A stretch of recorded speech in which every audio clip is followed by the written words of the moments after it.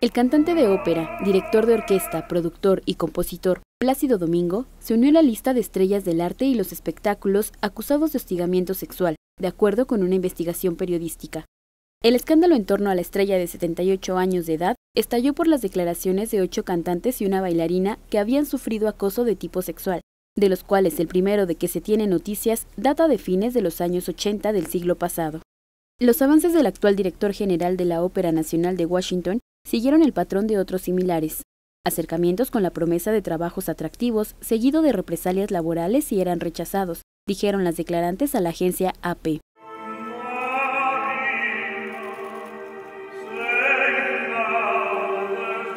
Solo Patricia Gulf, mezzosoprano que trabajó junto a Domingo en la ópera de Washington, aceptó que se revelara su nombre, pues el resto pidió el anonimato, ya que alegaron miedo a represalias laborales.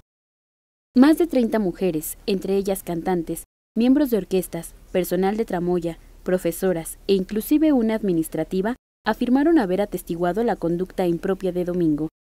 Quien me conoce o ha trabajado conmigo sabe que no soy alguien que intencionalmente busque hacer daño, ofender o avergonzar a alguien, subrayó el cantante. Sin embargo, reconoció que las reglas y estándares por los cuales somos y debemos ser medidos hoy en día son muy diferentes a los que existían en el pasado.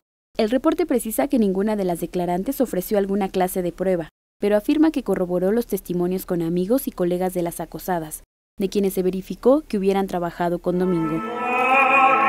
Como resultado de estas acusaciones, la Asociación de la Orquesta de Filadelfia retiró su invitación al cantante para participar en el concierto inaugural de temporada el próximo 18 de septiembre.